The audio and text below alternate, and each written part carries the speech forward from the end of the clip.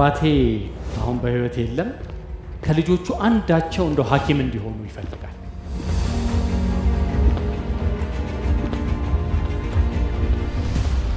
ያ ህልም ለካ የእሱ ህልም ነበር እንጂ የኔ ህልም አለ። ዛሬ የእሱን ህልም ለማሳካት ባለመጣሬ ደስተኛ ነህ ወይ? በጣም ደስተኛ ደስተኛ ደስተኛ ደስተኛ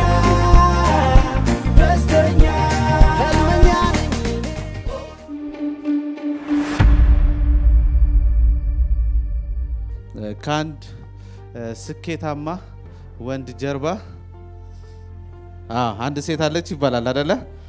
አንድ ስኬታማ ካልሆነ ወንድ ጀርባ ደግሞ ሁለት ሴት አሉ ይባላል።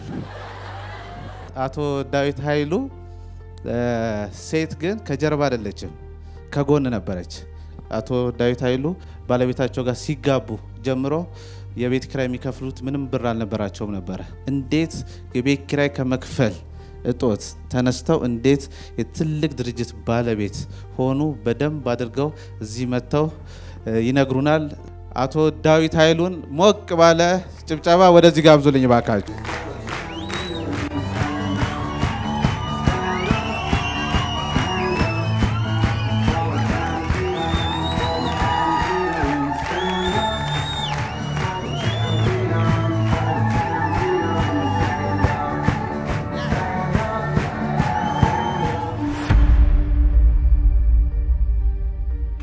በእውነት ዛሬ ከእናንተ ጋር በመሆኔ በጣም በጣም ደስታና ኩራት ይሰማኛል።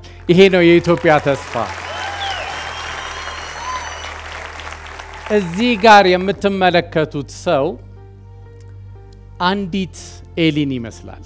ይቺ ኤሊ አንድ የኮንዶሚኒየም በረንዳ ላይ አንደኛ ፎቅ ላይ ሆና በግሪሎች መካከል ላይ እያየች ያለችን ኤሊ ይመስላል። ይቺ ኤሊ ሁለት ነገር አላት። አንደኛ በህይወት ዘመኗ አይታ የማታውቀውን view ነው የምታየው። ከላይ ወደ ታች የሰው ልጅ ሲያልፍ ታያለች፣ መኪና ሲያልፍ ታያለች፣ አበቦችን ታያለች፣ ዛፎችን ከላይ ታያቸዋለች። የሚገርም እይታ አላት።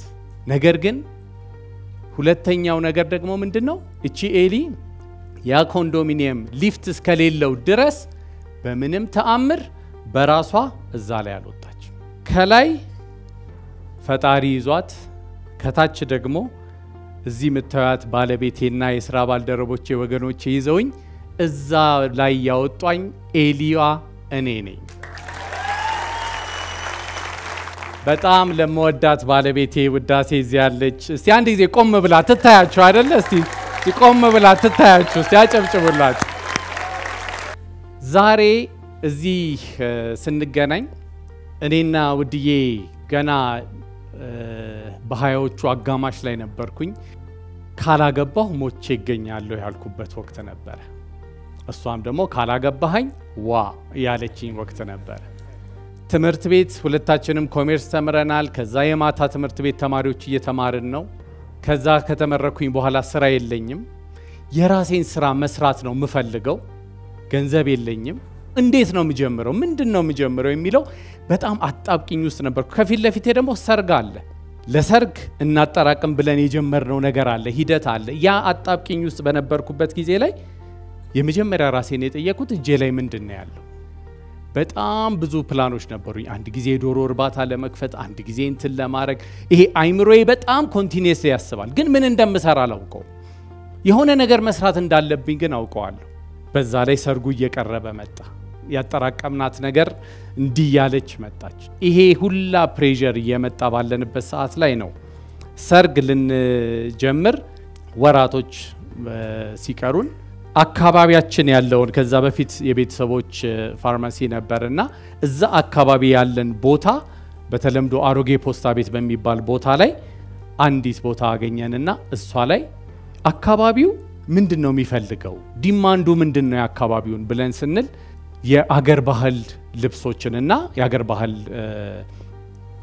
እቃዎችን መሸጥ ሆነ የአካባቢው የሚፈልገው። ስለዚህ እሱን ለምን አልሰራም?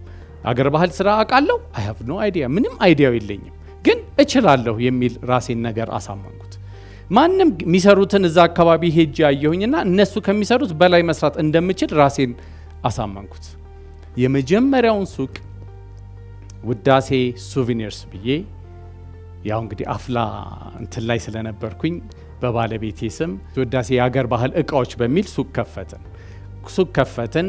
ሱቁን የተወሰነ ወራት ሄድንና አጋዥ ያስፈልገኛል። ጠዋት የምከፍተው እኔ ነኝ፣ ማታ ምዘጋው እኔ ነኝ፣ የማጸዳው እኔ ነኝ፣ ምሸጠው እኔ ነኝ፣ ሁሉ ነገር የማደርገው። ያን ጊዜም እንትን stock ም ስላልነበረን መደርደሪያው ላይ ከውስጥ ካርቶን ማአት እንደረድርና ካርቶኑ ላይ ነው ልብሶቹን የምናደርገው እንዲሞላ እንዲመስል፣ ምክንያቱም stock የለንም። የመጀመሪያ አንዲት ልጅ interview አደረግን። ስናደርጋት በቃ እኔን እንድታግዘኝ መጣች። ትግስት ትባላለች። አሁን የአንዱ የእህት ኩባንያዎቻችን ኃላፊ ናት። የኔና ትግስት መሄድ ጀመርን። ከአንድ ሱቅ ጀምረን ሁለት ሱቅ፣ ከሁለት ሱቅ ሶስት ሱቅ፣ ከሶስት ሱቅ ኤክስፖርት ማድረግ፣ ከዛም መስፋት፣ ከዛ ከአንድ ከትግስት ዛሬ ላይ ስድስት ኩባንያዎች ባለቤቶች ሆነናል። ከአንድ ትግስት ዛሬ ላይ 1200 ሰራተኞች አሉ። ከአንድ ትግስት ይሄን ሂደት ታዲያ እንዴት መጣ? ምንድን ነው ነገርየው? ምንም ገንዘብ ሳይኖር እንዴት ነው እዚህ የሚደረሰው?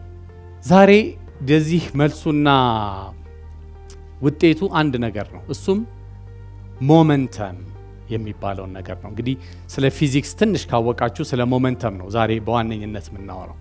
ሞመንተም አንድን ነገር ስንገፋው እቃው አልገፋም ብሎ ሲቆምብን፣ እኛ ግን ለመግፋት ስንሞክርና እቃው አልገፋም ከሚለው ኃይል በላይ በምንገፋበት ጊዜ የምናገኘው ሂደት ኢነርሻ ይባላል። መጀመሪያ የምንገፋው አንዴ መግፋት ከተጀመረ በኋላ ግን ስንሄድ ሞመንተም ነው። ይሄ እየሄደ ያለ ነገር ብዙ ኃይል አይፈልግም። ዛሬ ላይ ከውዳሴ Souvenirs የተነሳ ድርጅት ውዳሴ Group ብሎ ስድስት ድርጅቶችን ሲሰራ ከስድስት ድርጅቶቹ አንዱ ውዳሴ Diagnostic ማዕከል ይባላል። በጤና ላይ የሚ- የሚሰራና imaging ና ላቦራቶሪ ላይ እንደዚሁም specialty ክሊኒኮች፣ center ኦች ያሉት ድርጅት ነው። ሁለተኛው አኮ Coffee አኮ ቡና ይባላል። አኮ ቡና በቡና በምግብና በመጠጥ ላይ የሚሰራ ከአንድ ሱቅ ጀምሮ አሁን አምስተኛውን ሱቅ የከፈተ በቅርብ ጊዜ ደግሞ ወደ 30 ይሆናል ብለን የምንጠብቀው ድርጅት ነው። ሶስተኛው ጆርጎ አካዳሚ ትምህርት ቤት ይባላል። ትምህርት ላይ ነው ያለነው። ከ KG ጀምሮ እስከ ስምንተኛ ክፍል አለን። በቅርብ ደግሞ ወደ high school እንቀጥላለን። አሁን ወደ 1100 ተማሪዎች አሉን።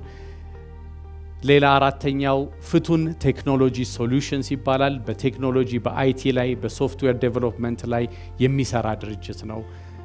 የተለያዩ software ኦችን develop ያደርጋል። አምስተኛው ሞአ Consultancy and Development Center ይባላል። በ development ና በሰው ልጅ ላይ የሚሰራ ድርጅት ነው። ሌላው ደግሞ ኤልስሜድ Health Care Solution ኤልስሜድ Business PLC ይባላል። ይሄ ደግሞ የሕክምና መሳሪያዎችን እያስመጣ የሚያከፋፍልና የሚገጥም ድርጅት ነው። እነዚህ ድርጅቶች ሁሉ የተወለዱት እንግዲህ መጀመሪያ በተነሳንበት ሁኔታ ነው። ታዲያ momentum እነዚህን ድርጅቶች እንዴት ሊወልድ ቻለ? ምንድን ነው የ momentum concept ካላችሁ ዝግጁ ናችሁ? የሆነ ሚስጥር ለመቀበል ዝግጁ ናችሁ? ግሬት በጣም በጣም ነው የወደድኳችሁ። የመትረፍረፍ እሳቤ ሲደመር የታመቀ ኃይል እይታ በጊዜ ሂደት ይሆናል ሞመንተም። መጀመሪያ ግን ምንድን ነው የመትረፍረፍ እሳቤ?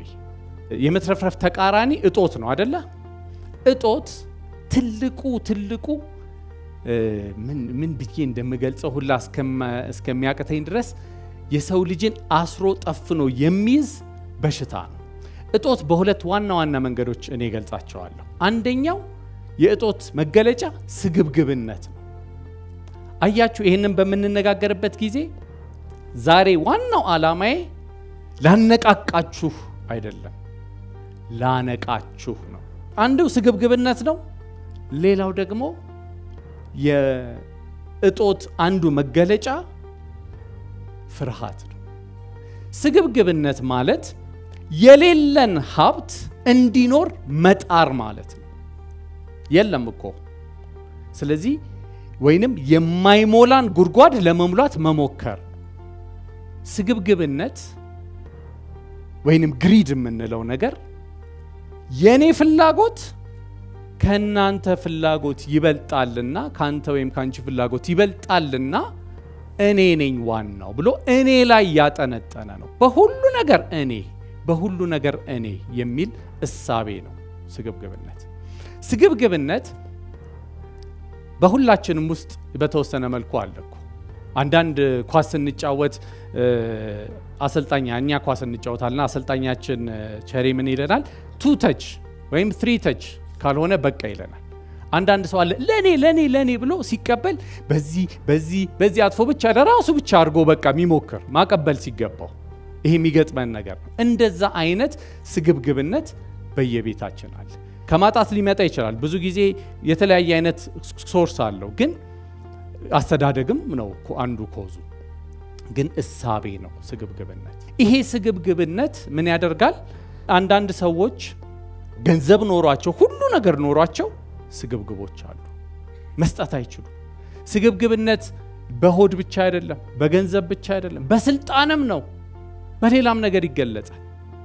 ስለዚህ ነው ስግብግብነትን እንዴት ነው የምናወጣው? የአእምሮ ውቅር ስለሆነ mindset ን በማስተካከል የሚስተካከል ነገር ነው። ስግብግብነት በአገራትም ውስጥ እኮ አለ። ባለፉት ጥቂት ዓመታት ኢትዮጵያን እንደዚህ የወረሯት የውጭ አገር መንግስታት አንዱ ምንድን ነው cause ኡ ብላችሁ ካያችሁት ስግብግብነት ነው። የእኛ ፍላጎት ከእናንተ ፍላጎት ይበልጣል፣ ሌላ ነገር የለው። ወደ አያቶቻችንና የአያቶቻችን አባቶች ሄዳችሁ በምታዩበት ጊዜ የባሪያ ንግድ እጃቸውና እግራቸውን እንዲህ ተጠፍረው በመርከብ ተይዘው የሄዱት የስግብግብነት ውጤት ነው። ዛሬ ላይ ሁሉም የዓለም ሕዝብ ተስማምቶ DV አንሞላም ቢል ኤምባሲም ሄደን ቪዛ አንጠይቅም ቢል እዚህ ቁጭ ብለን የምናወራ ይመስላችኋል? የሚቀርላችሁ ይመስላችኋል? እጃችሁና እግራችሁ ተጠፍሮ ለመሄድ ምናልባት እናንተን ከአባያቶቻችን አባት የሚለየው እነዛ በመርከብ ነው የሄዱት፣ እናንተ በአውሮፕላን ልትሄዱ ትችላላችሁ እንጂ የስግብግብነት መጨረሻው እናንተም ጋር መጥቶ እንደዚህ የእኛን ነገር አድርጎ ሊወስድ ይችላል። ስግብግብነት በአገራችንም ውስጥ እናያለን እኮ የኔ ይሄ የኔ ነው ይሄ የኔ ነው እየተባባልን በመሬት በምን ምንከራከረው ምንነጋገረው ስግብግብነት ካለ እነዚህ አይነት ሁሉ ነገሮች በቢዝነስም ላይ እንደዚሁ የሚመለከት ነገር ነው። ሌላው ሁለተኛው የስግብግብነት ጋር አብሮ እጦት ከእጦት የሚመጣው አስተሳሰብ ይህም ሜንታል setup የሚፈልግ ነገር ነው። ምንድን ነው? የእጦት ምልክቱ ፍርሃት ነው። ፍርሃት የሚመነጨው አደጋ አለ ብሎ ፍርሃት አደጋ ጠቋሚ ነው። እዚህ ጋር አሁን አንድ አንበሳ ቢመጣ ሁላችንም እንፈራለን። እኔ የመጀመሪያው ሯጭ። ጤናማ ፍርሃት አለ። ጤናማ ያልሆነ ፍርሃት ጋር በምንሄድበት ጊዜ ግን ሁሉ ነገር አደጋ ነው። ሁሉ ነገር ችግር ነው። ስለዚህ ኢንቨስት ለማድረግ እንዴ ብከስርስ፣ እንዴ ቆይ እስቲ ባላወጣውስ፣ የሆነ ነገር ቢመጣስ ብሎ የሚያስረን እንደዚህ በቆምንበት ጠምንጎ የሚይዘን ነገር ሌላኛው ሁለተኛው ነገር ፍርሃት ነው። ፍርሃት በጣም ጤናማ ያልሆነ ነገርን የሚያመጣ ነው። ስለዚህ ይሄ ፍርሃት በውስጣችን እያለ የእጦት አስተሳሰብ ስለሆነ አዙሪት ውስጥ ይከተናል። ይሄ ጡዘት ሊስተካከል የሚችለው የአእምሮ አስተሳሰባችንን ስንቀይር ብቻ ነው። መትረፍረፍ ግን በተቃራኒው ትልቅ የሚያስብ ነው። መትረፍረፍ በባህሪው ያለን ይበቃናል ነው። ከኢትዮጵያ አልፈን ወደ ምስራቅ አፍሪካን ማብላት የሚችል መሬት አለን፣ ቦታ አለን ብሎ ያስባል። ከዛ አልፈን አፍሪካ ላይ መድረስ እንችላለን። ያለንን ነገር ብናካፍል ማካፈል ማጣት አይደለም ብሎ ያስባል። መትረፍረፍ በራሱ አስተስ እሳቤው share ማድረግ ነው። መትረፍረፍ በራሱ የመትረፍረፍ እሳቤ ያለው ሰው ያለውን ነገር አንስቶ በማብዛ ለማብዛት በሚጥረው ሂደት ላይ ይሄዳል። ስለዚህ የመትረፍረፍ እሳቤ መሰረታዊ እሳቤ ነው፣ እኛንም የረዳን። እኔ የፖለቲካ ሰው አይደለሁኝም፣ የቢዝነስ ሰው ነኝ። ነገር ግን የሀገራችንን ጠቅላይ ሚኒስቴር ዶክተር አብይን በጣም አስተሳሰባቸውን አደንቀዋለሁ። የመትረፍረፍ እሳቤ ላይ ያለ አስተሳሰብ አላቸው። ከእጦት mentality አይደለም የሚነሳው ያለን ነገር ይበቃናል ብሎ ነው። you see መትረፍረፍ እሳቤው ምንድን ነው? ችግር በሚመጣበት ጊዜ ችግርን ይጋፈጣል እንጂ ከችግር አይሸሽም። መትረፍረፍ በእሳቤው problem ኦች በሚመጡ ጊዜ ለምን አንፈታውን ብሎ ያስባል።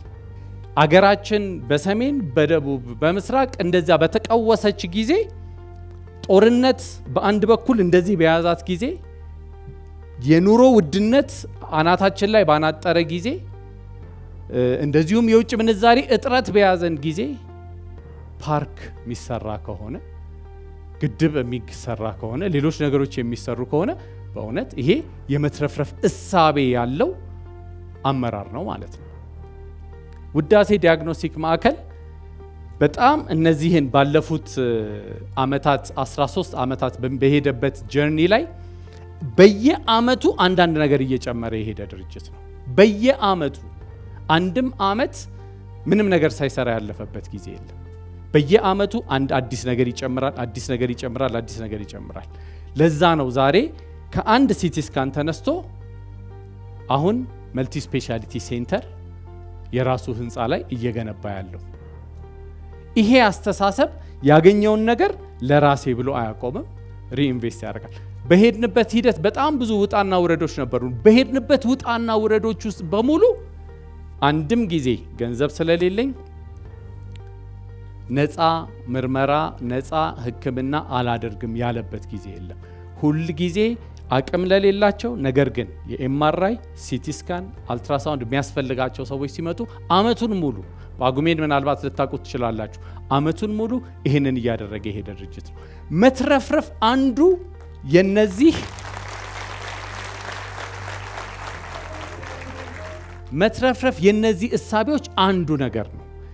መትረፍረፍን ይህንን ያክል ካየ ነው መትረፍረፍ ሲደመር የታመቀ ኃይል ይሄ የታመቀ ኃይል ማለት ለምሳሌ አንድ ውሃ እንደዚህ እየሄደ እንዲህ ብታፍኑት ምን ይሆናል? የተወሰነ ትንሽ ብትለቁለት ውሃው በኃይል የመሄዱ ነገር ይጨምራል አይደለ? እንደዛ አይነት የታመቀ ኃይል ማለት ነው። ኃይሌ ገብረስላሴን ድንገት ጠርቼው ኃይሌ እንዴት ነህ? እስቲ እንዴት ነው ይህንን ስምንት ሜዳሊያዎች ያገኘኸው እስቲ ንገረኝ ስለው ይገርመሃል በቃ አንድ ቀን ተነሳሁኝና ማሊያ ስጡኝ ብዬ ስሮጥ አንድ ሜዳሊያ ስሮጥ ሁለት ሜዳሊያ ሶስት ሜዳሊያ ስምንት ሜዳሊያ ያገኘው ቢለን አሰባችሁት?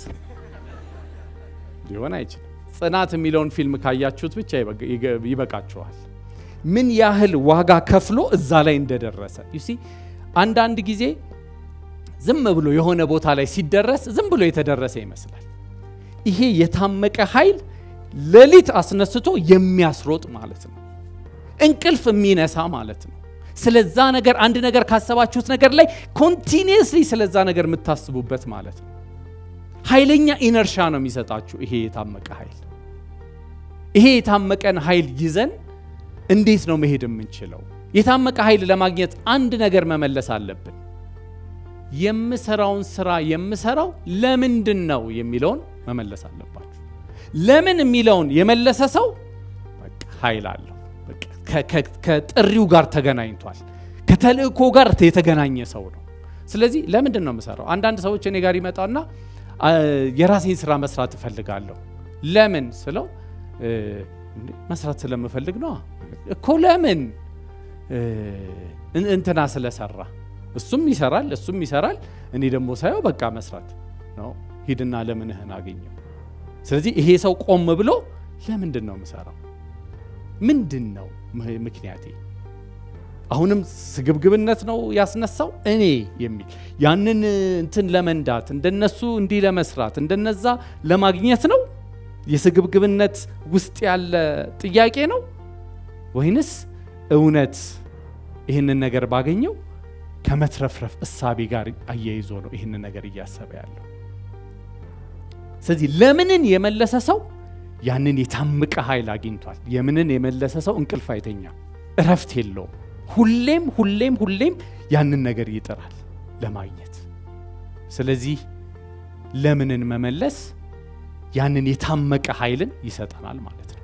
የመትረፍረፍ እሳቤ ሲደመር የታመቀ ኃይልን ማግኘት ብዙዎቻችን ግን ይህንን የታመቀ ኃይል ማግኘት ብዙ አይከብደንም። የሚገርማችሁ ነገር ለምን መሰላችሁ?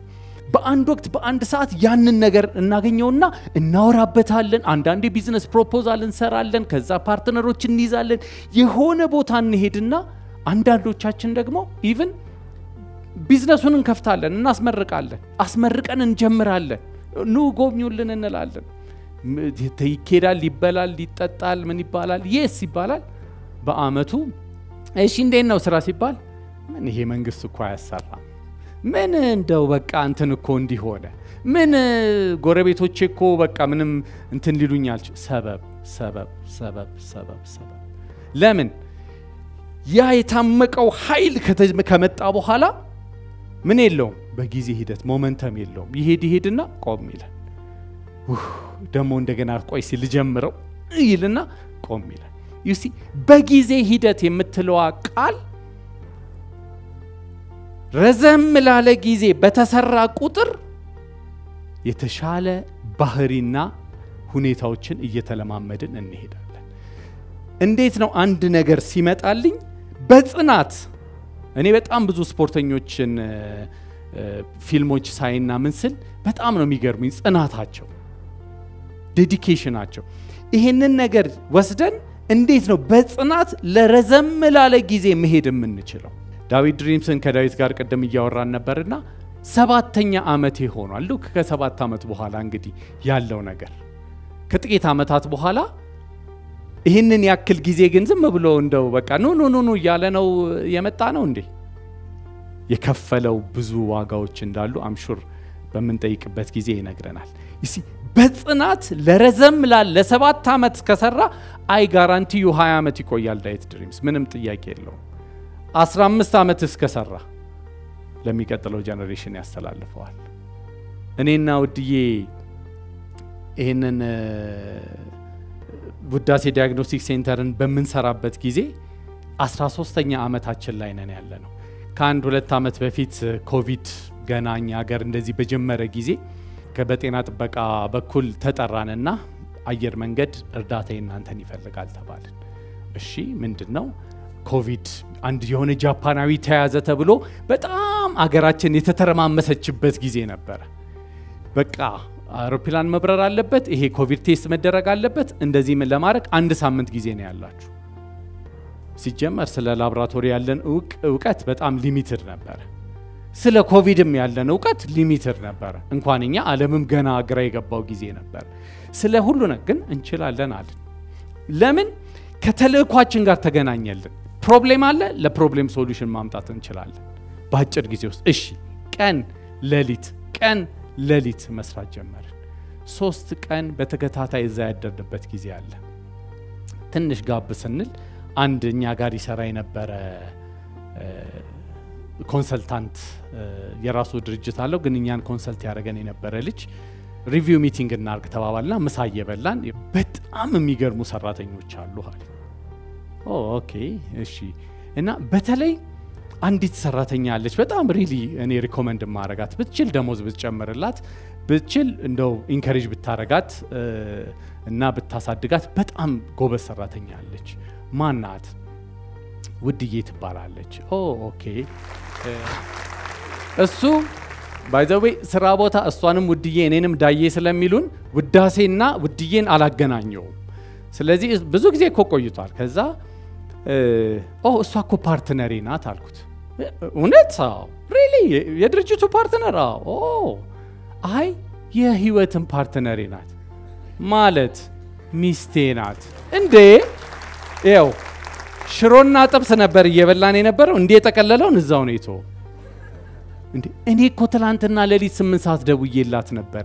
ይሄን ይሄን ይሄን በአስቸኳይ ፈጽሚ ብዬ እኮ ነግሬያት ነበረ። እና ዛሬ ጠዋት ስመጣ ይሄን ይሄን ፈጽማ review አድርገን ምን ብለን እሱ እንደ አንድ ሰራተኛ ነው ያያት።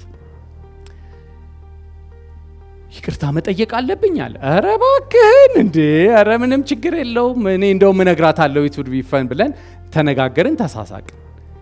የታመቀ ኃይል ሲኖር ከውስጥ የመጣ ነገር ሲኖር ይሄ እኔ ባለ ሁለት ሜትር ጠረጴዛ leather ምናምን ነው የምፈልገው አይደለም የምትሉት። መሬት አፈር ውስጥ ገብታችሁ የምትሰሩበትን ነገር ነው የምታገኙት። ይሄ ዝም ብሎ የመጣ ነገር አይደለም። ብዙ ሌሊቶች፣ ብዙ ቀኖች፣ ብዙ ዋጋዎች፣ ብዙ ላቦች እንዲህ ጠብ ተደርጎበት የመጣ ነገር ነው። ይሄንን በጊዜ ሂደት ይሄ እንግዲህ ከስንት ዓመት በኋላ ከአስራ አንድ ዓመት በኋላ ነው እንግዲህ አዲስ ቢዝነስ ላይ አይደለም እንደዚህ energy የወጣው ሶስት ቀን አራት ቀን የሚታደረው ከአስራ አንድ ዓመት በኋላም አሁንም እዛ ላይ እንደዚህ መስራት የሚችል team ነው ያለው። ይሄንን አሁን የነገርኳችሁን የተትረፈረፈ እሳቤ የመትረፍረፍን እሳቤ ሲደመር የታመቀ ኃይል እይታን በጊዜ ሂደት ስታደርጉት I guarantee you momentum ን ታገኙታላችሁ። ጓደኞቻችሁን wow የሚያስብሉ ቤተሰቦችን wow የሚያስብል momentum ታገኛላችሁ።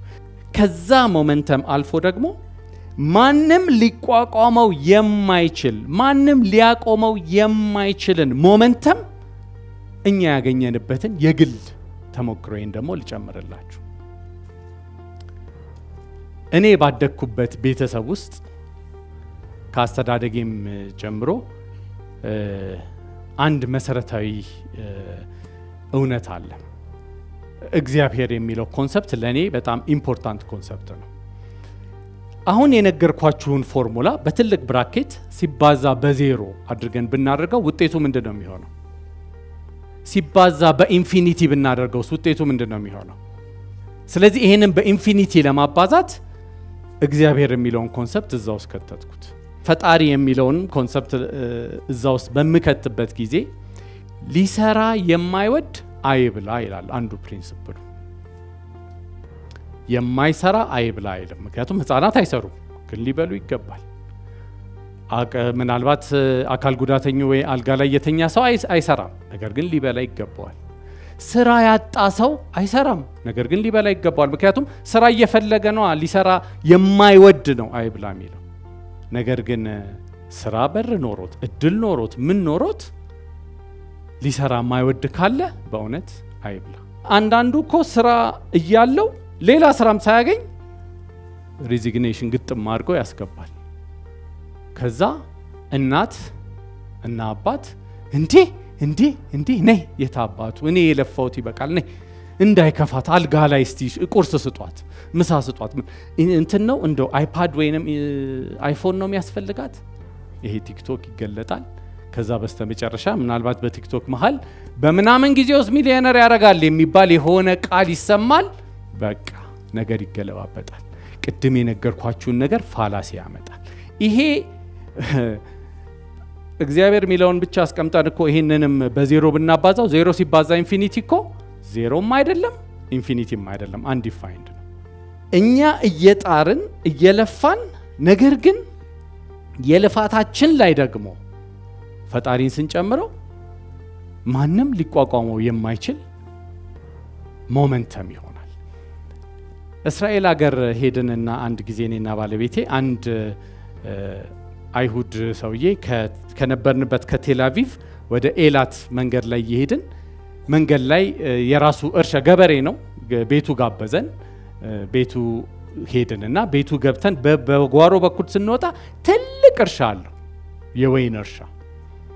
የተወሰኑ ሰዎች በመሀል የሆነ ቅጠሉ እንዲህ እንዲያደርጉታል። በ dripping mechanism ነው ውሃው የሚጠጣው። በጣም የሚገርም ነው። በጣም shocked ነው የሆንኩት፣ ምክንያቱም አልጠበቅኩኝም። ገበሬ እንደሆነ አውቃለሁ፣ ግን ቤቱ ውስጥ አይደለም የጠበቅኩት፣ የሆነ ቦታ ነው የጠበቅኩት እና ሄድን፣ ገባን። ልክ እንደ ገባን የሆነ ነገር አየ፣ አነሳሳና ተመለስን። wow በጣም ደስ ይላል፣ በእውነት እግዚአብሔር ባርኮሃል አልኩት። አዎ ባርኮኛል፣ እኔም ግን በጣም ለፍቻለሁ አለኝ። what አልኩና ለካ ለካ ዝም ብሎ አይደለም ለካ የሚባርከው ለካ ከኛ ልፋት ጋር connect ስናደርገው ነው ለካ ያ blessing እና ያ ነገር የሚመጣው የእጆቻችንን ስራ ነው አይደለም የሚባርከው። ላባችሁን ጠብ አድርጋችሁ ቅድም የነገርኳችሁን ነገር ብናደርግ እነዚህን ፎርሙላ ብንጠቀም በእውነት ማንም እናንተን ሊቋቋማችሁ የማይችል ኃይል ትሆናላችሁ። አባባ ተስፋዬ እንደምን አላችሁ ልጆች? ደህና ናችሁ ልጆች? እንደምን አላችሁ ልጆች? ቁጭ በሉ ልጆች፣ ቁጭ በሉ፣ ቁጭ በሉ፣ የዛሬ አበባዎች የነገ ፍሬዎች ካሉን በኋላ እኛ እሳቸው ልክ ሲመጡ እንቆማለን፣ ተቀመጡ ሲሉ እንቀመጣለን። ከዛ የተረት ክፍለ ጊዜ ይመጣል። ተረት ተረት አንዲት ጥንቸልና አንድ ኤሊ ነበሩ። ከዛ ሩጫ እንወዳደር ተባብለው መስመር ተሰመረና ready set go ሲባል ሲሮጡ ሲሮጡ ጥንቸሏ ላጥ ብላ ሮጠችና መሀል ላይ እንደዚህ ብላ ተኛች። በቃ ስታያት ኤሊዋ ገና ናት ብላ ኤሊዋ momentum ዋን ጠብቃ እያለች ብቻ እየሄደች እየሄደች እየሄደች ጥንቸሏንም አለፈቻትና አሸነፈች። ይህንን ታሪክ 27 ጊዜ ለልጆቼ ነግሬዋለሁ። ይኸው 28ኛ ለእናንተ ስነግር ሁሌ የምታሸንፈው ማን ናት? ኤሊዋ ናት። አይገርምም? ምናልባት እዚህ መሃል ጥንቸሎች ካላችሁ መልእክቱ ለእናንተ ንቁ የሚለው መልእክት ነው። አንዳንድ ጊዜ በህይወትም ሰክሰስፉል እንሆንና ላጥ ብለን ሄደን የኔ ነገር ይዞን አንዴ መኪናዬ፣ አንዴ ቤቴ፣ አንዴ መዝናናቴ፣ አንዴ ከተጠራንበት ግብ ጋር ሳንገናኝ disconnected እንደሆንን ፈዘን በመሃል ላይ አንቀላፍተን ያለን ካለን እባካችሁ ንቁ። ጊዜው አሁን ነው። ይህንን ለሀገሬ ተመኘሁኝ። ለአገሬ ህዝቦች፣ ለአገሬ ወጣቶች ተመኘሁኝ። የመትረፍረፍ እሳቤ ያለው ትልቅ ነገር ማየት የሚችል ችግር ሲመጣበት ችግርን መጋፈጥ የሚችል አስተሳሰቡና እይታው ሰፊ የሆነ ሰፊ የሆነ አስተሳሰቧ የሆነች ዜጋን አገሬ እንድታፈራ ተመኘሁኝ። አመሰግናለሁ። ስለዚህ ጥያቄ ያላችሁ ሰዎች ጥያቄ መጠየቅ ይቻላል። ከዛ ጥያቄና መልስ እናደርገዋለን። perfect። ከዛ በፊት ግን አንድ interview እያየው ነበረ እና ጋዜጠኛው ሲጠይቅህ ኢትዮጵያ ከዚህ እ፣ 50 ዓመት በኋላ ምን ይታይሃል ብሎ ጠይቆ ነበረ እና የመለስከው መልስ በጣም ነበር ደስ ያለኝ። 50 ዓመት ብቻ ሳይሆን ከአሁን አምስት ዓመት ኢትዮጵያ የምትደርስበት ደረጃ በጣም ትልቅ ነው የሚለው ያ በጣም ነበረ እኔን ተች ያደረገኝና እዚህ ያሉ ሰዎችንም በደንብ ይነካቸዋል ብዬ አስባለሁ። ስለዚህ ከዛሬ አምስት ዓመት በኋላ ኢትዮጵያ የት ትደርሳለች? ይህንን interview በተጠየቅኩኝ ጊዜ እንዳሁኑ እንግዲህ የሰላም ስምምነት ምናምን ላይ አልነበረም። ያኔ ቀውጢ problem ላይ በነበረበት ጊዜ ነው። ያኔ ይህንን መናገር በጣም እንዴ ወይ እኛ ማናቀው እሱም ያውቀው የሆነ ነገር መኖር አለበት ነበር ሰው ሁሉ ሲል የነበረው እና አሁንም ግን ተስፋዬ ያ ነው። በጣም እንደውም ጨምሯል። ለምን አሁን የምታዩትን ነገር እዩ። በቀደም ለት አንድ የተለቀቀ ቪዲዮ ሳይ ደቡብ ምዕራብ ኢትዮጵያ የሚል ልብን እንዲህ ብድግ የሚያደርግ አቤት የተፈጥሮ ሀብታችን፣ አቤት ያለን ነገር ተቆጥሮ እኮ አያልቅም፣ ተቆጥሮ አያልቅም። ምንድን ነው የያዘን? የአስተሳሰባችን ነው። ይሄ የአይምሮ ውቅራችንን ብቻ ከቀየርን የአይምሮ ውቅር mindset ታችንን ከቀየርንና really ይሄን ነገር ካስተካከልን ምንም አትጠራጠሩ። ይሄ DV ኢትዮጵያ ውስጥ መግባት አለመግባት ብቻ አይደለም፣ ለእኛ ብቻ አይደለም። ልጆቻችን ሌላ ዓለም ውስጥ ነው የሚሆኑት። እኛ ራሳችን ግን አሁን ላይ ራሱ የነቃ ሰው ዛሬ ላይ ይህን ነገር ገብቶት የነቃ ሰው ያለምንም ጥርጥር በጣም ትልቅ opportunity ፊት ለፊታችን አለ። በጣም ትልቅ opportunity አለ።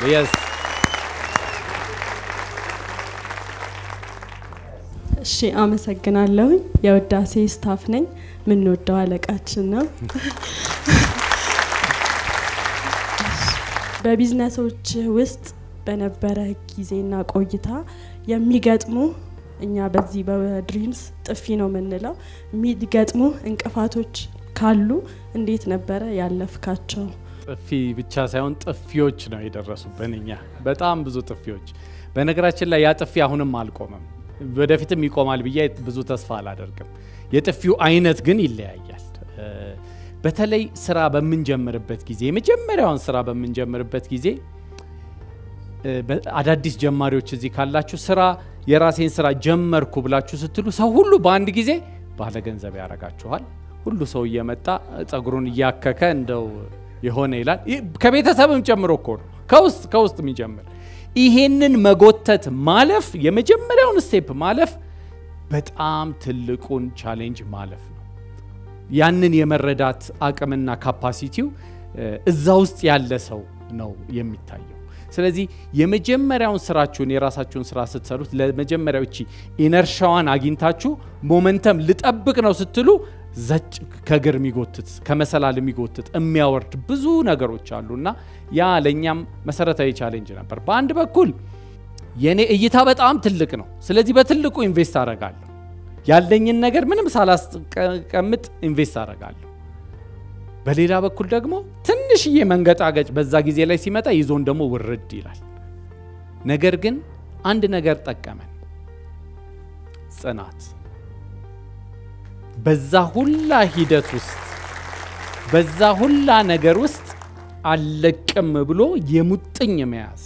መጨረሻ ላይ እኮ እንደ ኤሊዋ ነው እኮ ኤሊዋ እኮ ላይ ሆና በምን ምክንያት ነው እዚህ የደረስኩት ብላ ስትል of course ፈጣሪም ይረዳል ግን ያ ጽናትና ያ ሁኔታ ከዛ ነገር ያወጣናል። መኪና ስትነዱ አንዳንድ ጊዜ ገጥሟችሁ ከሆነ አላቅም፣ እንዴት እንደደረሳችሁ ሳታውቁ ቤት ትደርሳላችሁ። እንዴ እኔ ነኝ ይህን ሁላ መንገድ የመጣሁት ትላላችሁ። በጣም ብዙ እንደዚህ የምንለው እኔና ውድ እያለን በጣም ብዙ እኔ ነኝ ይህን ሁላ ደርሼ አሁን እዚህ የመጣሁት እዚህ ያለሁት እኔ ነኝ ብዬ እስከምል ድረስ አንዳንዱን እንዴት በምን አይነት ታምራት እንዳለፍ ነው ሁላ እስከማናውቀው ድረስ አንድ ጥፊ አይደለም፣ ቦክስ አይደለም፣ በጣም ብዙ ጥፊዎች ገጥመውናል። ነገር ግን ጽናት ያንን ነገር አልለቅም ማለት ላመንኩበት ነገር ለምንን እስካገኘን ድረስ ላመንበት ነገር ያንን ይዘን መሄድ በጣም ወሳኝ ነገር ለምሳሌ አንዳንድ ሰው ህልሙን ሲጠየቅ አስተማሪ ከሆነ ትምህርት ቤት መክፈት፣ ኢንጂነር ከሆነ የኮንስትራክሽን company መክፈት ምናምን ሊሆን ይችላል። መጀመሪያ የነበረ ሱቅ ነው። በኋላ ግን የህክምና center ሆነ። የማክሰኞ እንግዳ የሚለው ላይ ሳይ ፌስቡክ ላይ ዶክተር ምናምን የሚል የለውም እንዴት የህክምና center ሊኖረው ቻለ የሚል ነው። እና የእኔ ህልም ኮንስትራክሽን company መክፈት ነው የምሰራበት መስሪያ ቤት እንደዛ ስለሆነ፣ ነገር ግን አንዳንዴ እኔ የኮንስትራክሽን ሙያ ስላልተማርኩ ብቻ ያ ነገር እንደማይሳካ አእምሮ ይጎትተኛል። እና ከዚህ ጋር ያለውን ሐኪም ወይንም ባለሙያ ሳንሆን diagnostic center business ውስጥ የገባ ነው የመጀመሪያዎቹ እኛ ነበርን እና ሁሉም ሰው አሁን ድረስ አንዱ ትልቁ ችግሬ ዶክተር ዶክተር ነው የሚሉኝ ብዙ ቦታ እና በዚህ አጋጣሚ ይህን የሚከታተሉ ካሉ እኔ የህክምና ባለሙያ አይደለሁኝም። ነገር ግን እሱ ብቻ አይደለም እኮ ሼፍም አይደለሁም። ሬስቶራንት ግን አለኝ። የ IT specialist አይደለሁኝም። አይቲ ውስጥ አለሁኝ። መምህር አይደለሁኝም፣ ሆኜም አላውቅም። ግን ትምህርት ቤት ባለቤት ሆንኩኝ። ይሄ ያ ቅድም የነገርኳችሁ እልህ የሚለው ነገር እና እችለዋለሁ የሚለው ነገር በቀላሉ አሁን እንደዚህ አውርቼ የምጠግብላ የምነግራችሁ አይደለም። አንዳንድ ሰው የለም የሆነ ከያዛችሁላ ቀጠሮ እንኳን ስትሰጡት እሺ በቃ ነገ ነገ እያላችሁት ዝም ብሎ እኝ ብሎ የሚይዝ ወይም እንደው የወለዳችሁ እናቶች ካላችሁ ከልጆቻችሁ አንዱ ነጠላችሁ የእናቱን ነጠላ ይዞ ዝም ብሎ የሚከተኝ የሚል እንደዛ አይነት ሰው ነኝ አንድ ነገር ከያዝኩኝ አልያዝ እንጂ አልለቀው፣ በቃ አንላቀቅም። ይሄ የሙጥኝ ይዞ እስከ መጨረሻው መሄድ። ይሄን ስላችሁ ግን ድርጅቶች ከፍተናል፣ ድርጅቶች ዘግተናል። ውዳሴ ሱቬኒርስ አሁን የለም። ውርቴክ የሚባል አንድ የኑቢ እቃዎችን እናመጣ ነበር፣ አሁን የለም። ይሲ ይሄ ማለት አንድን ነገር የሙጥኝ ስለምል ኩላሊቴንና አንገቴን እሰጥለታለሁ ማለት ግን አይደለም። ታዲያ እንዴት ወደዚህ ገባሁኝ? እኔ የምመለከተው opportunity ነው። አንድ ሰው በተማረበት ቢሰራ በጣም መልካም ነው። ካላገኘስ ምንድን ነው አካባቢ ያለው ብሎ opportunity እኔ በዚህ ነው የተማርኩት ይሄንን ካልሆነ አልሰራም የሚል ሰው ካለ በጣም የተሸወደ ሰው ነው። ቅድም እኮ እንደነገርኳችሁ ነው። souvenir ልከፍት ስል ምንድን ያየሁት? opportunity። እዚህ አካባቢ ምንድን ነው የሚሰራው? እኔ እዛ አካባቢ ሁሉም የሚሰራውን የአካባቢው የለመደውን አካባቢ አየሁኝና እኔ በዚህ መልክ ብሰራው ብዬ አሰብኩኝ።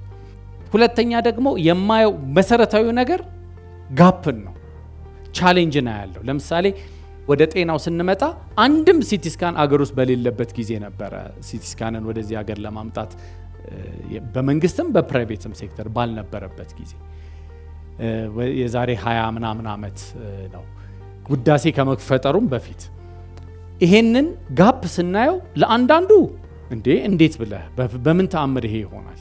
ይሄ መሆን የለበትም። ምክንያቱም የተማረ ሰው የለም፣ ሌሎች ሰዎች አልሰሩትም። አንተ ብቻን ያለህን ነገር አድርገህ እንዴት ነው የምትሄደው የሚለው ሌላ ጥያቄ ነው።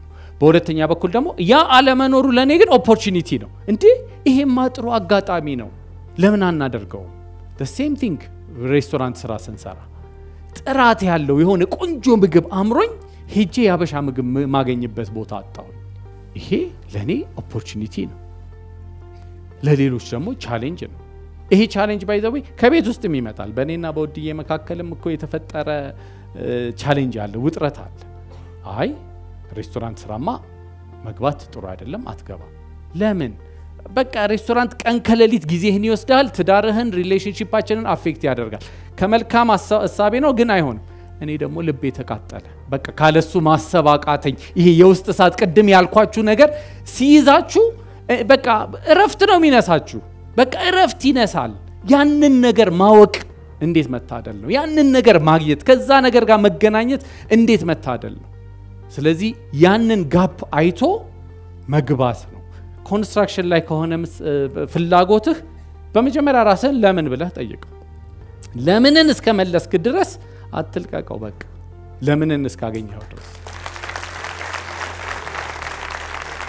በመጀመሪያ ዶክተር ዳዊት ድሪምስን እንደዚህ አይነት ትላልቅ ሰዎችን እያመጣ ስለሚያገናኘን thank you ለማለት የህይወት ተሞክሯችሁ በጣም ትልቅ inspiration ነው ለእኛ እና በመቀጠል ደግሞ ለአቶ ዳዊት ትልቅ ነገር ነው ያስተማርከን እና thank you ለማለት ነው። ጥያቄ ምንድን ነው? ለምኔን አግኝቼዋለሁ፣ እዛም ላይ ነኝ። ኢትዮጵያውያንን ሁሉ አነቃለሁ፣ ደግሞ አደርገዋለሁ፣ ያረኩትም ነው። so ከዚህ ጋር በተያያዘ አሁን የኔ ጥያቄ no ብዙ አሁን ያንተ conglomerate በሚባል ደረጃ ነው ቢዝነሶችህ፣ ግን specific ለምሳሌ ለአንዱ ለውዳሴ ዲያግኖስቲክ ሴንተር ብናስብ ብዙ branch ኦች አሉት ብዬ አስባለሁ እንዳየዋቸው እና ቢዝነስ መጀመሪያ ሲከፈት you know fruitful መሆን አለበት፣ ፍሬ ማፍራት አለበት። ፍሬ ካፈራ በኋላ ቀጥሎ ደግሞ distribution system ይፈጠርና branch ኦች ይከፈታሉ፣ ይሰፋል ማለት ነው። expansion የሚባለው stage ላይ የኔ ጥያቄ እዚች ጋር ነው፣ በሁለቱ መካከል አንድ ቢዝነስ ፍሬያማ ከሆነ በኋላ መስፋት አለበት። limited ሆኖ መቅረት የለበትም። መስፋት ያለበት ምን stage ላይ ሲደርስ ነው ወይ ደግሞ ምን አይነት ሁኔታ ላይ ሲሆን ነው ብለህ ታስባለህ? ለምሳሌ አኮ ቡና እ፣ በአንድ ሬስቶራንት ላይ ነበረ። ጥሩ market ነበረው፣ ጥሩ ነገር ነበረው። ትርፋማ ግን አልነበረም በአንድ center። ስለዚህ ትርፋማ እንዲሆን margin ኤን በጣም ለመቀነስ እንድችል በብዛት ለተለያዩ ቦታዎች መሄድ እንዳለብኝ ገባኝ። ከዛ በኋላ ነው አንድ ሁለት ሶስት አራት አምስት ሲባል ኦ አሁን እንትኑን አየ ነው የሚባለው ነገር የሚመጣው። ስለዚህ እንደ የቢዝነሱ ባህሪ ሊወሰን ይችላል። ስለዚህ ግዴታ መብዛትን ከአሪፍነት ወይንም centralized የሆነ መሄድን ከመጥፎነት አናያይዘው የስትራቴጂ ሁኔታ ስለሆነ ምናልባት ሌላ ጊዜ ስለ ቢዝነስ ስትራቴጂ በደንብ ልናወራ እንችላለን። የተለያየ አይነት የስትራቴጂ አይነቶች ስላሉ ስለዚህ ይሄኛው ግን የኔ የኔ ፍላጎት ግን ከመስፋት ጋር የሄደ ነው። ለምን መዝራት አለብኝ ብዬ አስባለሁ። በጣም ብዙ መዘራት ያለበት ጊዜ መዓት ፈርታይል ሜዳ አለ። ሌሎቻችሁ እየዘራችሁ ስላልሆነ እኔ መዝራት አለብኝ። ስለዚህ ቀድሞ ቶሎ ቶሎ የተወሰነ ሜዳ እንኳን ያዙ። መስፋት ስላለብን ነው። ብዙ ሰዎች ስኬታማ የሚሆኑት ቤታቸው ከተስተካከለ በኋላ ነው ብዬ አምናለሁ። እርስዎ ደግሞ ባለቤቱን ሲያመሰግኑበት የነበረው ያላችሁ ፍቅር በቃሎች ይገለጻሉ እና እንዴት ነው ቤት ክል ልታስተካክሉ ይቻልከው? እንዴት ነው ይህ ፍቅራችሁ እንዴት መጣ? በጣም የሚገርማችሁ በጣም ብዙ ጊዜ ስኬት ወደ ስኬት የቀረቡ ሰዎችን ፌመስ ወደ መሆን የቀረቡ ሰዎችን ወይንም በጣም popular ዓለም ላይ ያሉ ሰዎችን ስታያቸው ህይወታቸው miserable ነው። አንድ መስመር miss ያደርጋሉ። ይሄ ነገር ለምንድን ነው ለምንድን ነው በጣም popular ሰዎች እንደዚህ አይነት ነገር የሚሆነው ብለን ካሰብን የቤት ስራቸውን ስላልሰሩ ነው። ትዳር በራሱ ዝም ብሎ የሚቀጥልና የሚሄድ ነገር አይደለም። ዲሲፕሊን ይፈልጋል፣ commitment ይፈልጋል፣ ዋጋ መክፈል ይፈልጋል እና መረዳዳት ይፈልጋል። በጣም እኔና ውድዬ በባህሪም የተለያየን ሰዎች ነን። እሷ በጣም ጥንቁቅ organized፣ በጣም እኔ ደግሞ አየር ላይ ምበር የሆነ ነገር ካመንኩበት በቃ እንትን የምል ሰው እና እንኳንስ በእኔና በእሷ ባህሪ አይነት ይቅርና አንድ አይነት ተመሳሳይ ሰዎች እንኳን አብሮ መቀጠል በጣም ከባድ ነው። ለዛውም አብረን እየሰራን ነው፣ እንዳትሳሳት አንድ ስራ ውስጥ ነው። ስለዚህ ይሄ ስራ አልጋ ላይ ይወጣል። ይሄ ስራ አብረን ያለንበትን ቦታ ላይ ይወጣል። ይሄ ስራ ብዙ ቦታ ይሄዳል። ስለዚህ እንዴት ይህንን ውጤታማ መሆን እንዴት ስኬታማ መሆን ቻለን? ዋጋ ስለከፈልን። አንዱ ስትራቴጂያችን ምንድን ነው? በሳምንት አንድ ቀን አብረን ራት እንብላ።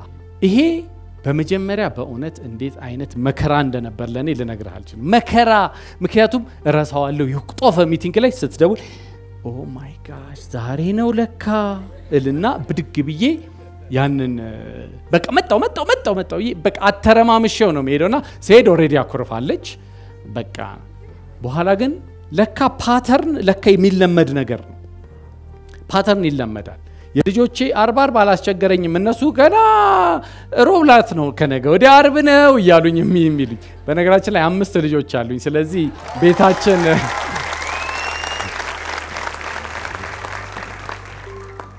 ስለዚህ የእነሱም ቀን አላቸው፣ የሚስት ቀን አላት። ይሄንን ቀን በኋላ ከለመድኩት በኋላ ለካ pattern አይደለም momentum።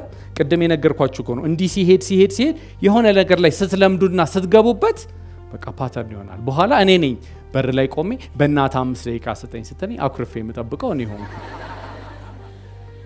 ለምን እዛ pattern ውስጥ ገባን። ከዛ ደግሞ ትልቁ ሌላ challenge ኣችን ምንድን ነው? ስንገናኝ ይሄ እንትን ሆና ስለሆነ ያገኘችኝ የስራ ጋጋታዎች ታመጣ እና እንትኑ እንትኑ እኔም ደግሞ ስላገኘዋት እንትኑ እንትኑ ከዛሬ በኋላ ስለ ስራ አናወራም ስንባባል ምን እናወራ? ስለ ልጆች አይ በቃ ለካ ስለ ሌላ ነገር ማውራት መልመድ አለ እና ብዙ እንደዚህ አይነት ነገሮችን አልፈን አሁን እየለመድነው መጣን እና ይሄ pattern በጣም ጠቀመኝ። ነገራቶቼን በደንብ እንዲይዘው ረዳኝ እና በዛ ነው። ውዳሴ አለ፣ ሌላ ቢዝነስም አለና ይመግባል ወይ? ውዳሴና እህት ኩባንያዎቹ ይመጋገባሉ ወይ? አዎ ይመጋገባሉ፣ ግን በጣም independent ናቸው። በ structure ም independent ናቸው። አንድ group ቢሆኑም እናት ኩባንያቸው ውዳሴ ግሩፕ የሚል ቢሆንም እያንዳንዳቸው የእኛ structure የተለያየ ነው። license ኣቸው የተለያየ ነው። ባለቤቶቹ ተመሳሳይ ቢሆኑም ሁሉ ነገራቸው የተለያየ ነው። አንዱ ለሌላው ሲመግብ ግን እያስከፈለ እንደ business relationship ነው ያላቸው። ይሄንን business relationship create ስናደርግ በጣም ብዙ challenge ኦች ይገጥሙናል። በቃ የኛው ስለሆነ እንትኑን አምጡት እየተባለ የሚሰራበት አሰራር ነበር። ከዛ ይሄኛው ደግሞ ራሱን መቻል ስላለበት ጉሮሮ አንቆ እንደ ማንኛውም ሰው ደግሞ ገንዘቡን ይቀበላል። ይሄንን culture መፍጠር ውዳሴ culture የምንለውን culture መፍጠር በራሱ የገጠመን challenge ነበረ። ግን አዎ ይመጋገባል፣ አዎ support ይደራረጋል። in fact ነው አንዱ ስትራቴጂያችን አንድ company ሲመሰረት ለምሳሌ ፍቱን ቴክኖሎጂ ሲመሰረት ወይም ሞአ ለመጀመሪያው አንድ አመት ከእህት ኩባንያዎቹ ውጪ ሌላ ስራ እንዳይሰራ ይታገዳል። እጁን በደንብ አፍታቶ expert ሆኖ እንዲወጣና እንዲሰራ ቢያሳሳት እንኳን እዛው እህት ኩባንያዎቹ ጋር እንዲሳሳት። ስለዚህ ወደ ገበያ ራሱን ይዘው ሲወጡ የሆነ ልምድ ይዞ የሆነ ነገር ይዞ ነው የሚወጣው እና ይሄ በጣም ጠቅሞናል። በጣም ብዙ ነገሮች support አድርገውናል። ስለዚህ ውስጣችን ያለውን ነገር እንድንይዝ አኮም ሲከፈት እንደዛ ነው። ብዙ test አድርጎ እህት ኩባንያዎችን እየጋበዘ serve እያደረገ ነው። ከዛ ነው ራሱን ወደ ገበያ ያወጣበት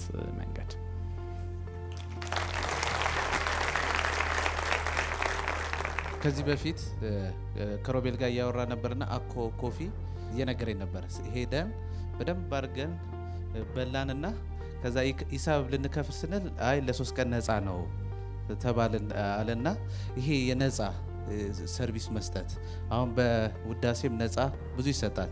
ዳዊት ድሪምስም በጣም ብዙ ነፃ class ኦች ሰጥቶ ነው እዚህ የደረሰውና ይሄ አስተሳሰብ ብዙ የለም በነፃ የመስጠት ነገርና ምን ትላለህ በዚህ ጉዳይ? በመስጠት የሚያልቅ ከሆነ የእጦት አስተሳሰብ ቅድም ወዳልናቸው ነገሮች እንሄዳለን። በመስጠት መብዛት ከሆነ ግን በመስጠት ውስጥ ያለ መብዛት እናገኛለን። እንደ ቢዝነስ ስናየው በነፃ ነው የምትበላው ተብሎ ስትባል ወይም ጓደኛ ሲባል I'm sure wow ማይረሳው experience ነው። ነገስ ምን ይዞ ይመጣል? ኪሱን ሞልቶ ከች ይላል ማለት ነው። ዩሲ ይሄ በመስጠት ውስጥ ያለ አስተሳሰብ ምንን ያመጣል? መልካም ስም፣ መልካም ዝና፣ መልካም አስተሳሰብ፣ ስለዛ ነገር ያለው አመለካከት መልካም ይሆናል። በዛ ላይ ደግሞ እውነተኛ እኛ feedback ደግሞ የምናገኝበት ነው። አዲስ area ላይ ስንገባ ከዛ አካባቢ feedback እናገኛለን። ያንን ግብረ መልስ ወስደን እንዴት አድርገን ነው ምናሻሽለው ምን ለውጠው የዛ አካባቢ ሰው ምን ይፈልጋል? አሁን በጣም data ብዙ analyze እናደርጋለን እና even የተለያዩ branch ያሉን ደንበኞች የተለያየ አይነት ባህሪ እንዳላቸው የተለያየ አይነት ፍላጎት እንዳላቸው እያጠናንና እንደ ፍላጎታቸው እንዴት ነው መድረስ የምንችለው የሚለውን ነገር እየሰራን ነውና ያንን በደንብ እንድንረዳውና እንድናውቀው ረድቶናል። የኔ ጥያቄ ስድስቱን branch ወይም ስድስቱን ድርጅቶች አንተ ስትል ጊዜ አጠቃቀምክ እንዴት ነበረ? የመጀመሪያ የማሰቢያ ቦታ ያስፈልጋል ብዬ አስባለሁ። ማሰቢያ ጊዜ አይደለም። አሁን የጠየቀኝ ስለ ጊዜ ነው አይደለ? እኔ ግን በኋላ እመጣበታለሁ። ማሰቢያ ቦታ አላችሁ ወይ? እኔ ማሰቢያ ቦታ አለ። ምንድን ነው ማሰቢያ ቦታ ካላችሁ፣ ማሰቢያ ቦታ ነው። በቃ ወንበር፣ ጠረጴዛ፣ ከፈለጋችሁ ሶፋ፣ ከፈለጋችሁ የፈለጋችሁት የማሰቢያ ቦታ ላይ በምትሄዱበት ጊዜ ለማሰብ ነው የምትሄዱት። በጣም ከባዱ ነገር ማሰብ ነው። ስለዚህ በጣም ብዙ ሰው አያስብም። ለምን? ከባድ ነዋ። ለምን ብሎ ያስባል? በቃ ይኖራል፣ ጠዋት ይነሳል፣ ቀን ይሄዳል፣ ማታ ይሄዳል። ማሰቢያ ቦታ ላይ ስትገቡ እና ያንን ስትለማመዱት ምን ይሰጣችኋል መሰላችሁ? ለምሳሌ የሙስሊም እምነት ተከታዮቻችን ምንጣፋቸውን ይዘው direction ኣቸውን አድርገው ልክ እዛ ቦታ ላይ ሄደው መስገድ ሲጀምሩ ክፉ ነገር ወደ ጭንቅላታቸው ይመጣል እንዴ? ኦርቶዶክስ እምነት ተከታይ ልክ በር ተሳልመው ቤተ ክርስቲያን ውስጥ ልክ ሲገቡ ውስጣቸው የሆነ ነገር ይሆናል። ወይንም የፕሮቴስታንት እምነት ተከታዮች ልክ እንደዚህ ተሰብስበው church ውስጥ ሲገቡ ይሄ ቦታው የሚሰጠው ነገር አለ። ቦታው በራሱ ልክ እንደዛው እኔ ማሰቢያ ቦታዬ ላይ ሁል ጊዜ ለማሰብ ብዬ በሄድኩ ቁጥር ያንም ቦታ ለማሰብ እየዋጀሁ ትሄዳለሁ። ካፌ ገብቶ ጥርሱን እየፋቀ ማኪያቶ ቡና እያለ ለማሰብ ነው የመጣሁት እያለ አትሸወዱ። እንደዛ ብሎ ነገር የለም። ማሰቢያ ቦታችሁ አንዳንድ ረዘም ያለ ጊዜ የምታስቡበት አለ፣ አንዳንድ ደግሞ በጣም አጭር የምታስቡበት አለ። ለምሳሌ እኔ ሁሌ ጧት ጧት ሻወር ስወስድ ማሰቢያ ቦታ ኩክ ሀሳቤን፣ ውሎዬን፣ ቀኔን refresh ማደርግባት ቦታ ናት። ያ ማሰቢያ ቦታዬ ላይ ግን ለማሰብ ነው የሚሄደው። ለማሰብ ሲሄድ አንድ ሀሳብ ሲመጣልኝ ዝርዝሩን አላደርገውም። ነጥብ ነጥቧን አድርጌ ወደ ሀሳቢ ነጥብ ነጥቧን አድርጌ ወደ ሀሳቢ አምስት step ኦች አሉኝ። አምስት step ኦችን ቶሎ ቶሎ ልንገራችሁ። የመጀመሪያ ማሰቢያ ቦታዬ ላይ እሄድና አስባለሁ። ሀሳቦችን ስለ ሆነ ነገር topic ይዤ ከሆነ ሄድኩት ስለዛ ነገር ለማሰብ ነው ሄድኩት። ወዲያው ወይኔ እንትኑን እኮ ከውጭ አላስገባሁም፣ ወይኔ እንትኑ እኮ መአት distraction ይመጣል። በተለይ የመጀመሪያው አንድ ወር መከራ ነው። ምንድን ነው ለካ እውነትን ማሰብ ከባድ ነው እስክትሉ ድረስ በቃ ቁጭ ብሎ ማሰብ በጣም ከባድ ነው። ሁለተኛው step ላይ ሲሄድ ያሰብኩትን ሀሳብ ደግሞ ቅርጽ ማስይዝበት ቦታ አለኝ። ይሄ ቅርጽ ማስያዣ ቦታዬ ያንን ሀሳብ ወስድና እጽፈዋለሁ። ስጽፈው ቅርጽ እየያዘ ይሄዳል። ሶስት ሰዓት ሁለት ሰዓት ሙሉ ያሰብኩት ሀሳብ በአንድ sentence ያልቃል። ይህንን በቃ ይችን ነው ያሰብኩት እላለሁ።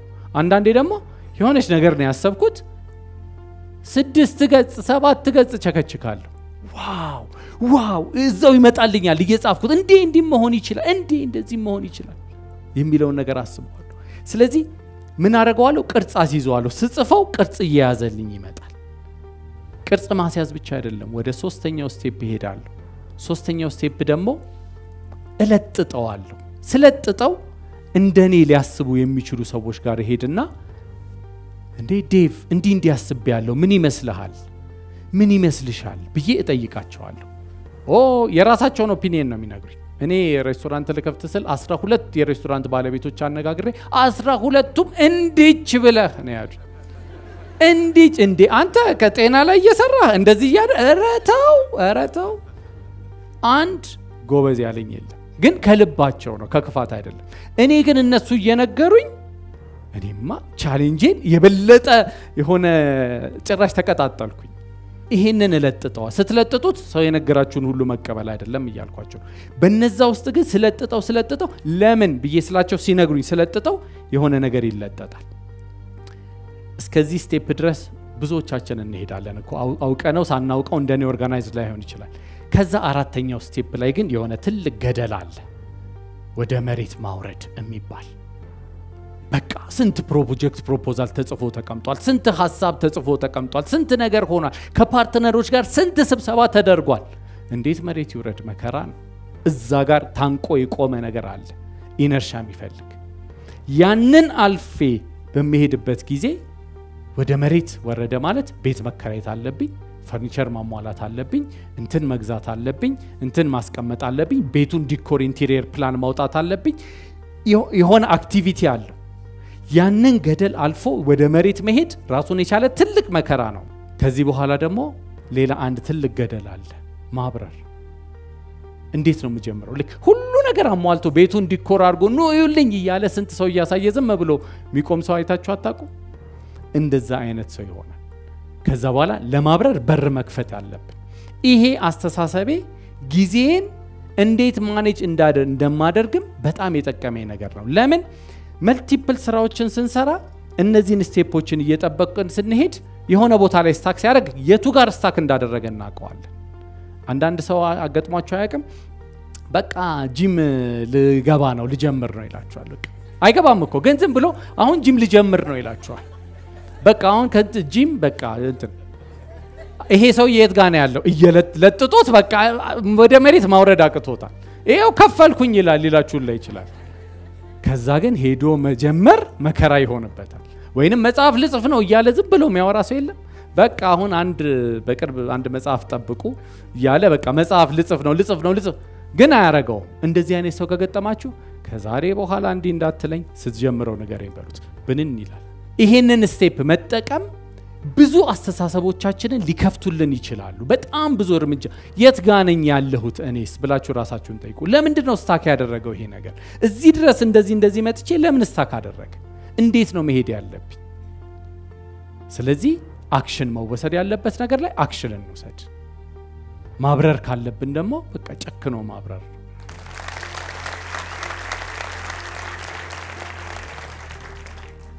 በልጅነት የምትፈልገው የነበረው ነገር ወይ ደግሞ heart beat የሚመታለት የነበረው ነገር ምንድን ነው?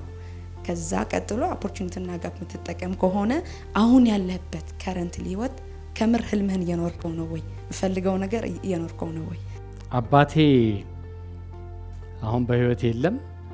ያን ጊዜ ምንድን ይለኝ ነበረ? እሱ የፋርማሲ ባለሙያ ነበረ እና ከልጆቹ አንዳቸው እንደው ሐኪም እንዲሆኑ ይፈልጋል። ስለዚህ በልጅነቴ የእሱን የፋርማሲ ጋውን አደርግና እዚህ ጋር የእሱን ስም አውጥቼ ዶክተር ዳዊት ኃይሉ ብዬ ጽፍና ያንን አድርጌ ብዙ በቃ ሐኪም የመሆን ፍላጎት ነበረኝ። ያ ሐኪም የመሆን ፍላጎቴ አባቴን ለማስደሰት ከነበረኝ ጥማት ነበረ የተነሳው። በኋላ ግን ማትሪክ እኛ በእኛ ጊዜ በማትሪክ ነበር የሚወሰነው። ማትሪክ ሲመጣ ያ ውጤት አልመጣልኝም። በቃ የሆነ ጥፋት ያጠፋው ስሜት ነው የተሰማኝ። ነገር ግን ያ ህልም ለካ የእሱ ህልም ነበር እንጂ የኔ ህልም አልነበረ። ዛሬ የእሱን ህልም ለማሳካት ባለመጣሬ ደስተኛ ነህ ወይ? በጣም ደስተኛ ነኝ። አምሹር እሱም ደስ የሚለው ይመስለኛል። አንተ ደስተኛ ነህ ወይ ካልሽኝ፣ በህልምህ ህልም አያስደስትም። የማይሞላ ያ ቅድም ያወራ ነው የማይሞላ ጉድጓድ ነው። ህልም አየር ላይ ያለ ነገር ነዋ። ራእይና ህልም ይኬዳል። ስትደርሽበት ሌላ ህልም ይታለማል። ስትደርሽበት ሌላ ህልም ይታለማል። ስትደርሽበት ሌላ ህልም ይታለማል። before you know it ህይወት አልቃለች። በቃ በዚች ምድር የተሰጠች። በህይወትህ ደስተኛ ነህ ወይ ከሆነ ግን ጥያቄው በጣም ደስተኛ ነኝ። በጣም ደስተኛ ነኝ። intentionally ደግሞ ደስተኛ ነኝ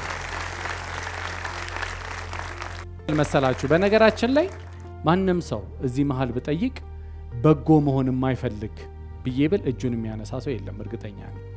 በጎ መሆን የሚፈልግ ስል ደግሞ ሁሉም of course በጎ መሆን እፈልጋለሁ። ግን በጎነት ውሳኔ ነው። መውደድ ውሳኔ ነው። የሰው ልጅን መውደድ ውሳኔ ነው። ስለዚህ ደስታ ውሳኔ ነው። ደስተኛ መሆን ምርጫው የእናንተ ነው። እኔ መርጫለሁ። እኔ በጣም ደስተኛ ነኝ። እንደውም ሁሌ የምናገረው ነገር አለ። በእኛ አባባል ብዙ አይባልም እንጂ አደራሽን እላታለሁ። እኔ ሁሉ ኦርጋኖቼን ዶኔት አድርጌያለሁኝ እና ዋቴቨር የዕለት ሁለት ጊዜ ደርሶ ስቀበር ካለሽ አንቺ ፊቴን አርጊው። በህይወት ዘመኔ ደስተኛ ነበርኩኝ።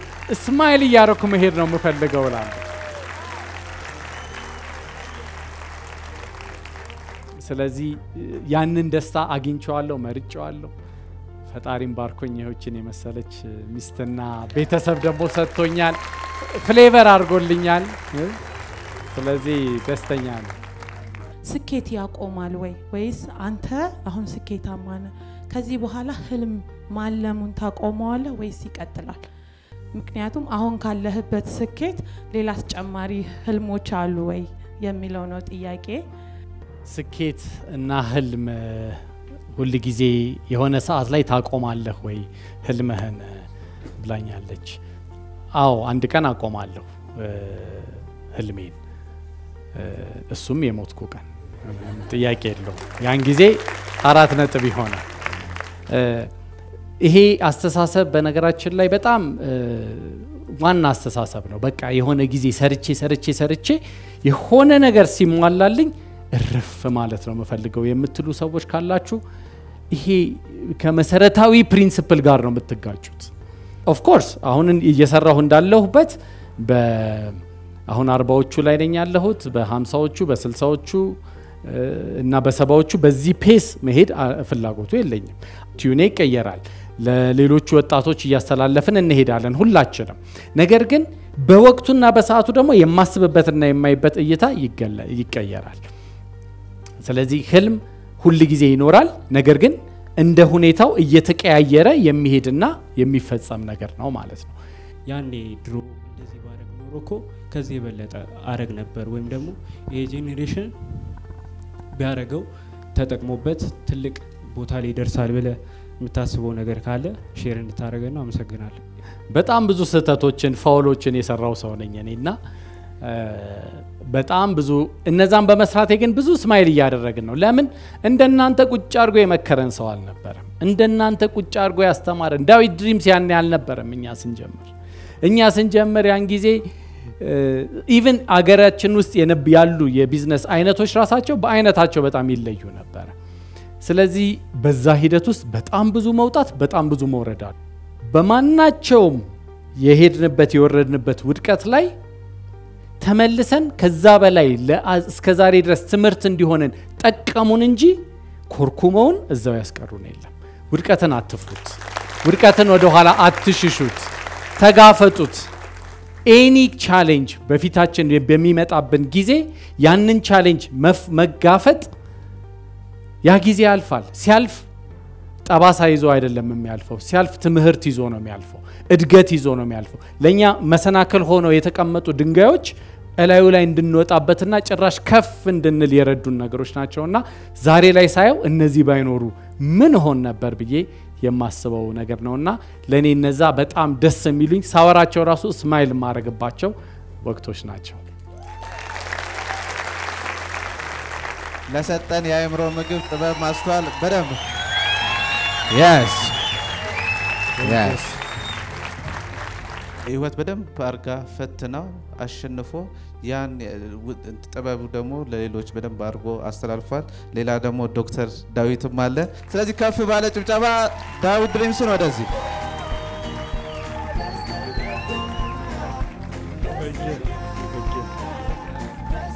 so ዛሬ በጣም ቆንጆ ነበረ። ዳዊት በጣም የሚገርም መረዳት ማስተዋል እጅግ በጣም የሚገርም ነው። ውዳሴን ወደ መድረክ ጋብዝልኝ።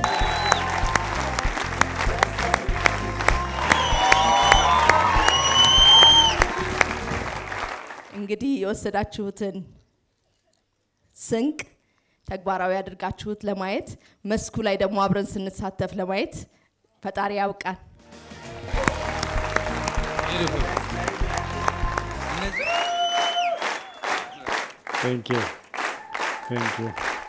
በመጨረሻ ማለት ነው ቲጂ የት አለች? ቲጂ መታለች እንዴ? አዎ አለች። ይቺ ቲጂ የት አለች? ነይ ቲጂ። ነይ ነይ።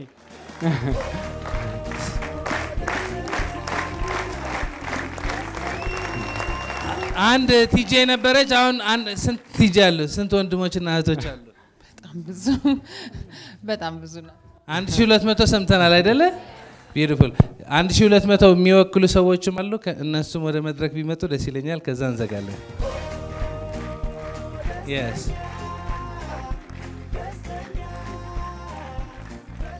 በጣም የሚገርም ጥበብና ማስተዋል እንዳለና የምንማረው ብዙ ነገር እንዳለ ተረድተናል። ጓጉተናል ደግሞ የሚቀጥለው በተለይ የቢዝነስ ስትራቴጂ ለመማር የጓጓ ሰው ካለ ብቻ መጫወት ይችላል።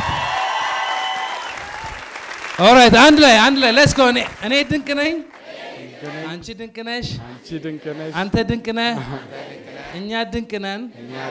ትልቅ ህልም አለኝ፣ ህልሜ ይቻላል። አቅሜ ከመረዳቴ በፊት ህልሜ የማይቻል ይመስለኝ ነበር።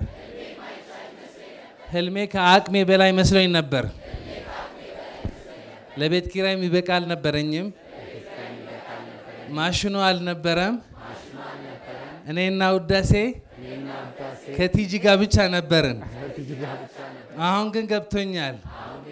ህልሜ ይቻላል፣ መትረፍረፍ ይቻላል፣ ማሸነፍ ይቻላል። የመትረፍረፍ ምስጢር ከተረዳሁ በኋላ በጽናት ስሰራ ይኸው በስድስቱ ድርጅት ተባርክ ያለሁ። አንዱ ብቻ ሰባት ቅርንጫፍ አለው። ንግድ ባንክ እየመጣሁላችሁ ነው።